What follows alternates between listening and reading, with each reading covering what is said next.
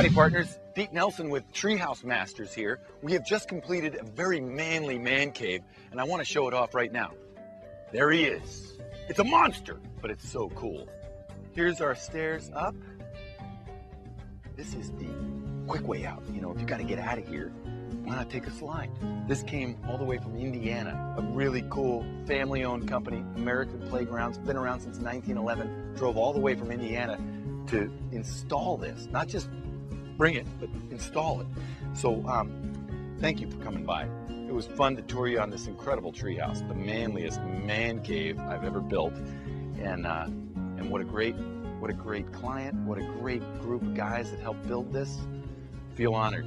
All right, tune in, Treehouse Masters. Catch you later.